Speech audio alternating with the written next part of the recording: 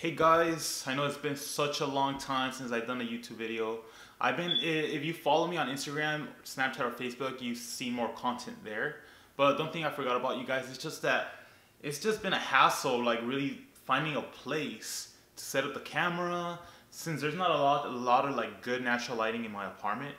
Um, I just, if you guys didn't know, I just moved to the apartment in the beginning of the year. I know it's been like six months, but I finally figured out why don't I just do it right here in this awkward position on my couch, right?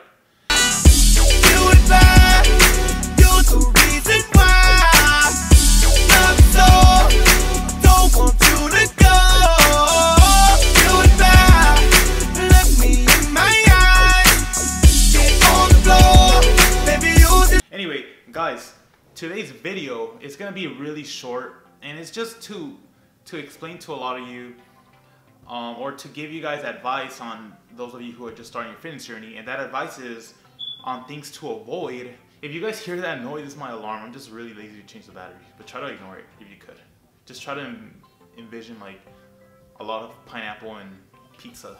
Anyway, guys, this video is just to um, give you a couple pointers on things to avoid so you're so you don't make the same mistakes that I made when I first started my fitness journey and one of them and it's gonna be the most important or one of the most important. I can't say it's the most important because there's a lot of important things, whatever. It's really important that you guys don't compare yourself to anybody. Trust me, I used to do that and I was never happy with my progress because I just felt like I wasn't good enough compared to that person I used to I would look up to. And what I'm trying to say is try to just focus on improving because you're gonna wake up in the morning and you're gonna notice that you've lost some weight, your butt looks bigger, whatever. And you're gonna tell yourself that it's not good enough that that you're not happy with it because you don't look like that girl you look up to. That's why it's important that you guys focus on yourself and just work on being the best version of yourself because if you constantly try and look like somebody and constantly compare yourself to someone, you're never gonna be happy in this fitness journey. And this fitness journey is a long journey, guys. Like, I'm sorry to break it to some of you, but it's gonna be a long journey because there's gonna be things along your journey that you're gonna be like, all right, now I think I need to work on this. Like there's always gonna be something. Trust me. The other thing is for you, for those of you who are trying to lose fat, um, the biggest thing is weights. You have to lift weights. You can't just rely on cardio and think that cardio alone is gonna help you get there. Cardio does burn calories. Yep, that's correct.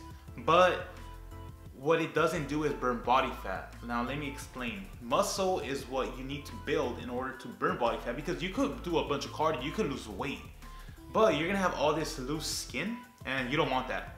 Trust me, if you ask anybody who's lost so much weight and they have all this loose skin, if you tell them what, what do they do, they're gonna be like, oh, I just did a bunch of cardio.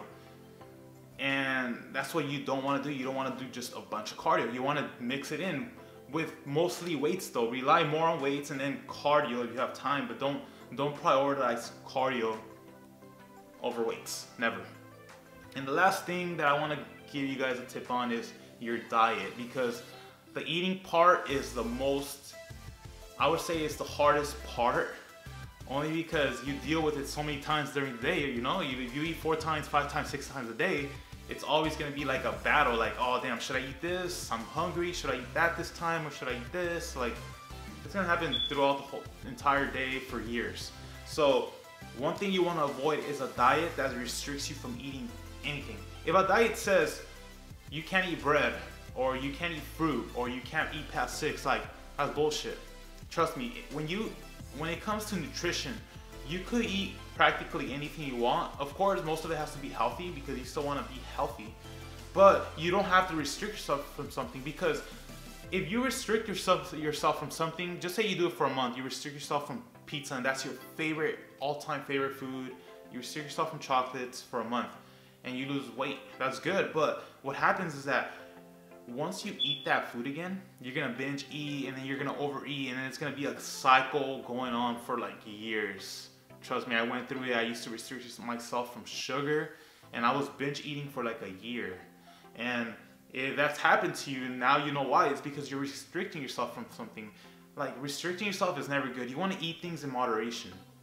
If you can eat things in moderation, eat healthy, and then eat some of the foods that you crave in moderation, you're gonna be happy with this fitness journey. And if you just compare yourself to yourself, improve yourself, and you're in peace with yourself in this journey, it's this this journey is gonna be a lot more fun than if you didn't do any of that stuff. So yeah, I think that about does it.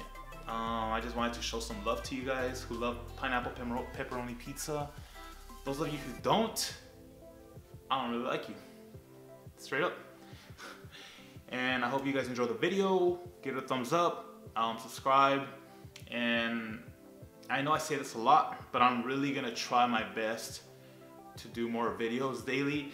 And I have to hold myself accountable because I, I as a trainer, I expect you guys to be consistent with the gym, the workouts, and as as your as your trainer, I expect myself, I, I expect to be held to the same standards. Like I'm, I need to, I need to be out there more with you guys to like keep you guys accountable, make sure you guys don't mess up, and just try my best to transform everyone who watches these videos because that's my goal. When I started my first, my um, YouTube video, when I started my Instagram, all that stuff, it was to help as many people as I can, share my knowledge, share my workouts, help people transform with my words, my workouts, all that good stuff. I'm out.